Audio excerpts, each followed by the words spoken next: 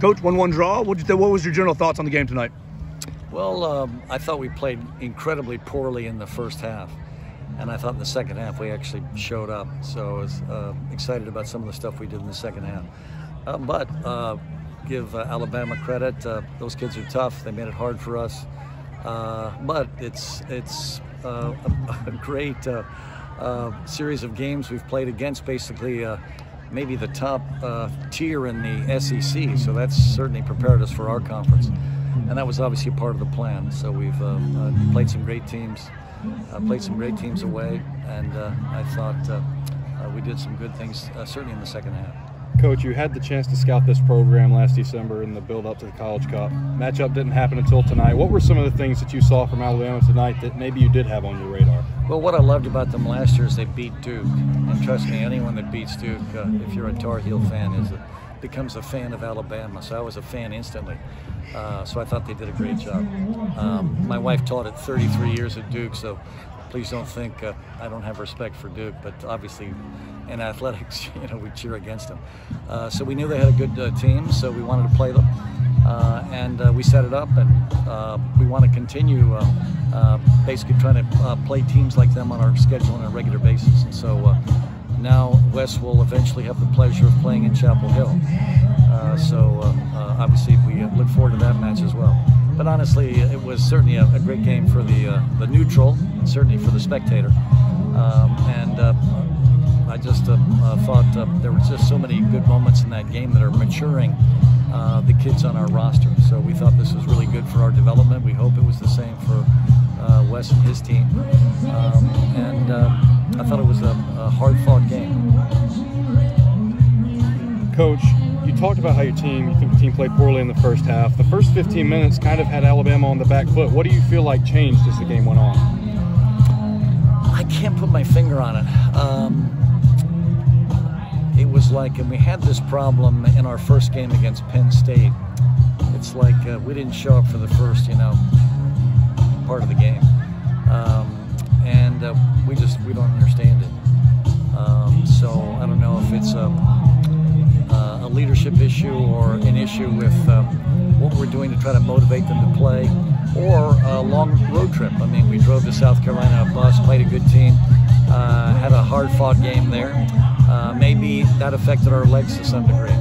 Uh, so, um, you know, i will mull that over for a while. Uh, but I'm glad we showed up in the second half, created some good chances. Not that there weren't some good chances for us in the first half, there were some good ones. But in the second half, I thought uh, uh, we did a much, much better job of uh, getting the ball forward effectively. I think some of the offsides killed us. There was a great series there near the end where Tori Della Peruta flicked a ball into Sentnor uh, if had been on, on sides, that would have been a great chance because she's a lethal finisher.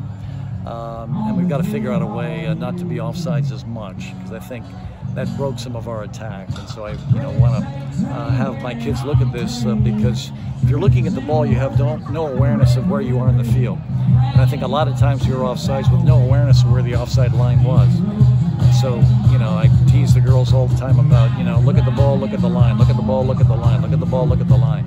And of course, they're all just focused on the ball and they don't realize they're in an offside position. And I think that was a moment that could have been a game changer for us because the ball that Tori played into her, there was just open space. And she's got a very powerful strike. It's very accurate, and I think uh, uh, that uh, that put us in a position to basically uh, uh, steal the game. Um, and again, we didn't have the awareness to know we were off. Alabama's in the middle of kind of battling, going back and forth with goalies. But what did you see out of Corey Lee tonight, the goalie that y'all faced? Did a good job. Did a good job. I mean, uh, uh, the girl that scored for us was our leading scorer for the last couple years. She's a lethal finisher. Uh, obviously, we try to train all of our kids, like I'm sure Wes does with his, to shoot low and across the frame, and she does it as a matter of habits. Um, and uh, we want to form good habits with our finishers, and she's got she's a, a marvelous finisher. Um, and I thought that was a really well executed goal. Yeah. Um, but there were other chances in the game actually that were easier than her chance for us. Um, but still, uh, this is why they're paid the big bucks, the, the goal scorers. Uh, and uh, she's a senior. Uh, she's had a great career for us. I think um, she'll do well at a professional level. And that was a very, very uh, high class finish uh, and I think it would have beaten most goalkeepers. You played a lot of the top teams in the, in the, SEC, and obviously you have a great experience. What do you see out of this Alabama program from really where it's been not so hot for the last couple of years has been just growing, growing, growing? Yeah, they've got uh, they've got uh, fighters all over the field, and uh, and I appreciate the way they play because they make it hard for us. I mean, what a lot of teams do to prevent us from scoring goals is they pick us up on the tangent of the center circle. Uh, and then sort of pack the box, and that's not the philosophy of Alabama uh, or uh, South Carolina or Arkansas, for that matter. Uh, they play a you know different kind of game. Uh, obviously, we try to play through the lines. They play a little bit more direct, but it's effective. So, and they also press us and we struggle to get the ball uh, through their lines. Uh, and I credit their intensity and commitment to defending. Yeah, coach. Um, close off. You know, I mean, when you started coaching, Alabama and many other SEC schools didn't even have a soccer program going, um, and now you've seen, like you said, this new style starting to emerge. How do you say that affects the um, shape of college soccer as a whole? Well, obviously, uh, more programs that are committed to the development of their women's soccer games collegiate are going to help all of us.